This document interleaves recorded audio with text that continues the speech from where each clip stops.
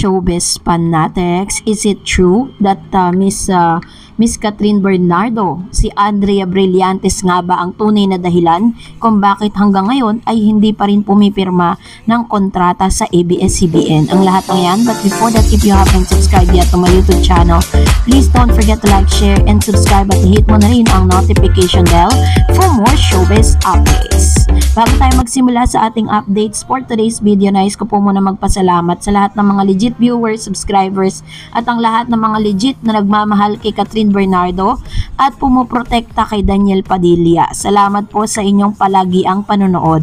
And for today's video, pinag-uusapan nga po online ngayon ang uh, kumpirmadong pagpirma ni Mr. Daniel Padilla ng kanyang kontrata sa ABS-CBN Star Magic. Kasi matapos pong kumalat sa social media at sa lahat ng mga social media platform sa SOCMED na itong si Mr. Daniel Padilla di umano ay aalis or aalisin dito po sa nasabing uh, nasabing network no sa ABS-CBN pero ngayong araw kinumpirma po ng ABS-CBN kasama po si Mr. Uh, yung isa sa mga nag nagbabalita uh, sa kanila no?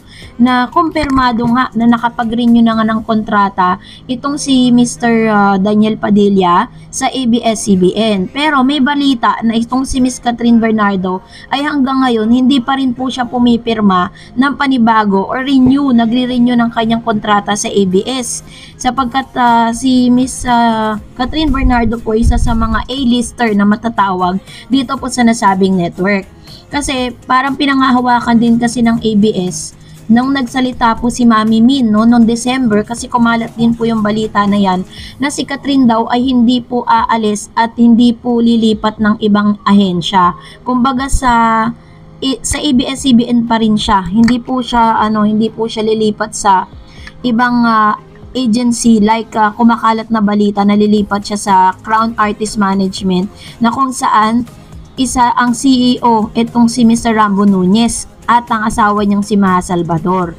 Pero may mga malakas po ang mga bulong-bulungan na kaya daw hindi pa pumipirma ito dahil may balak nga itong lumipat dito po sa management na ito, sa Crown Artist Management.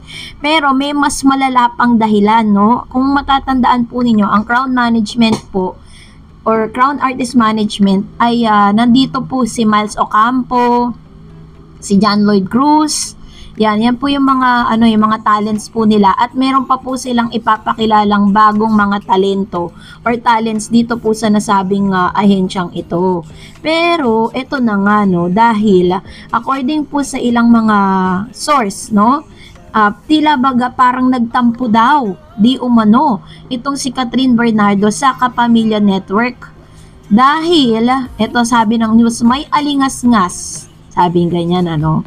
Malakas ang bulong-bulungan na ang Crown Artist Management di umano na ang mag-handle ng showbiz career ni Catherine Bernardo pagkatapos ma-expire ang kontrata ng actress sa Star Magic. Kasi matagal na po yan na expiry kasi pagtapos po ng uh, expiration dapat prior to the expiration pipirma ka na kung talagang gusto mo pang mapabilang sa ahensya na yon and alam naman natin na blockbuster queen po itong uh, si Miss uh, Catherine 'di ba? Isa ang movie niya sa pinakamasasabi natin na high grossing film, yung Hello Love Goodbye na kung saan kasama po itong si Mr. Alden Richards at kasama din sa mga high grossing film yung ginawa nila ni Daniel Padilla na The House of Us, right?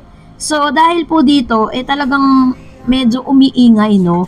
Ang mga, may alingas-ngas kasi noon na baka daw iwanan na ni Catherine ang Kapamilya Network, pero malakas ang pinag-usapan na hindi pa naman daw nakukumpirma ay hindi na raw siya magre-renew ng kontrata sa Star Magic.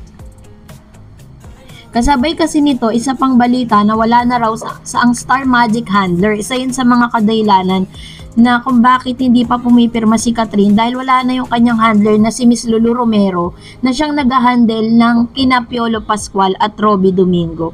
Kasunod nito ay narinig din ang mga chika na yun nga iba nang mag-handle para sa kanila. Pero isa sa pinaka rason, pinaka latest reason na parang nagtampo daw di umano itong si Catherine Bernardo sa ABS-CBN matapos po na mabalitaan at makita kung paano po pinoprotektahan ng ABS-CBN itong si Andrea Brillantes kasabay ng pagtatapos ng kanilang uh, teleserye na Senior High na kung saan ay talagang uh, na, naka-filter lahat ng mga itatanong kay Andrea. So pinagbawalan ng ilan sa mga media at mga doon, mga nagtatanong po doon na tanungin itong si Miss Andrea Brillantes patungkol sa issue na ikinakabit sa kanyang pangalan dito po kay Mr. Daniel Padilla.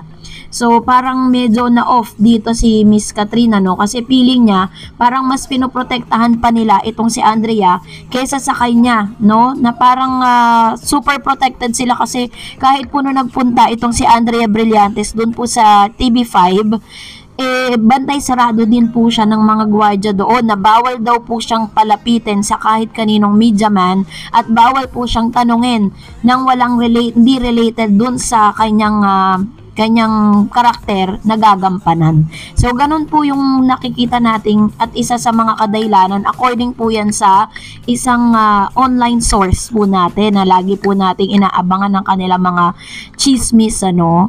So, kayo po, ano pong sa loobin ninyo patungkol dito? Comment down below. Salamat po sa panonood at dahil dyan narito ang ilan sa mga komento ninyo, bigyan nating pansin ang inyong mga latest sa uh, na mga komento sa ating last update. Tunayin natin si Estrella Garcia. Sabi niya hanggang ngayon, hindi pa rin kayo naniniwala. Kung hindi totoo yan, mayroong magsasalita dyan. Pabulaanan ng mga kumakalat na balita eh tahimik sila eh. Silang lahat. Isa lang ibig sabihin nun, alam nyo na kung ano. Kasi nga, di ba parang silence means yes, di ba? Isa lang naman yan eh. Uh, kung tanongin man si Andrea, tanongin si Catherine, tanongin si Daniel.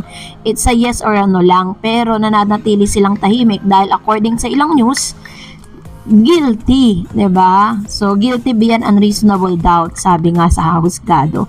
Pero just the same, let's give them the benefit of the doubt na hanggat hindi pa po nila inaamin yan sa publiko dahil sabi nga ng ilan wala naman talagang aamin sa pagkakamali nila lalo pat alam nila na masisira yung kanilang credibility no sa public. Kaya antay na lang po natin kung ano po magiging desisyon. Maaaring ito po estratehiya rin ng ABS-CBN Star Magic sa kanilang mga talents to protect them. Kasi syempre may mga movies pa rin pong gagawin yan eh. So, another comments coming from Sofia Elorga. Sabi niya, dadating ang tamang sayo sa tamang panahon, sa tamang uh, lalaki. Hindi ito hinahanap kung saan ito dadating, kung sa itong darating dadating ang pag-ibig. Hintay mo na lang ang darating sa'yo, tamang lalaking, tamang babae, kumpara talaga sila sa isa't isa. Ano yung ginagawa? Imposible na magkamali kang maging kaibigan na lang sila. Dadating ang tamang relationship. Catherine Bernardo and Daniel Padilla, umamin na kayo. Sino mang nagsalita kung ano talagang totoong dahilan, ba't sila naghiwalay? Mahal pa rin ang isa't isa bilang magkaibigan. I want to get this. I love you both of you. Tumigil ka na sa pagsunod sa pagsusulit, hindi na nalilinang ang ginagawa mo. Ayun. So, ito naman po yung isa sa mga payo niya. No? Tama naman eh. Kung hindi man po sila magkatuluyan in the near future, gagawa pa rin naman ng way ang Lord para matagpuan nila yung tamang tao, tamang girl at tamang babae para sa kanila. Kasi, alam niyo po, kahit po nagkamali si Daniel, makikita naman natin na may goodness pa rin sa heart niya. Pinush pa rin po talaga niya yung kanyang dreams, yung kanyang pangarap para sa pamilya niya. Always remember, siya po ang nagtaguyod sa pamilya niya. Nanggaling po sila talaga sa sobrang hirap, ano, at yan po talaga yung pinatunayan ni Miss Carla Estrada. Sabi ni Florencia Ponce, totoo kasi lahat lahat ng ay ano lahat bumuhos ng sister ni Kat, baka nga may kulang pa. Till now, di pa rin ako makamove on. Sobrang humaanga at tiwala ko kay DJ kasi kaya till now, di ako, di ko maubos maisip na ganun siya.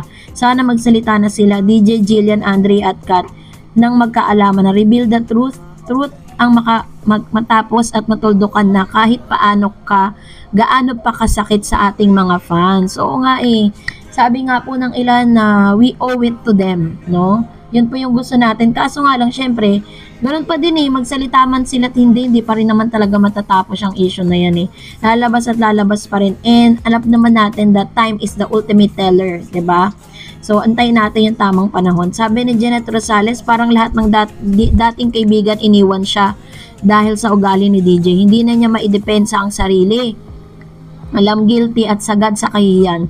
God truly humble him and yet still giving him chance to change. Yan. Kasi may mga may mga videos kasi na nakakalkal. Pero alam ko parang biro lang yun ni Daniel. Kaso nga lang parang dahil nga hindi maganda, red flag ngayon si Daniel eh parang lahat yun isinisisi sa kanya at hinahanapan siya ng mali. And that's it for today. For more videos and updates, please don't forget to like and subscribe. And please don't forget to follow my Facebook page, DarEds TV. God bless everyone!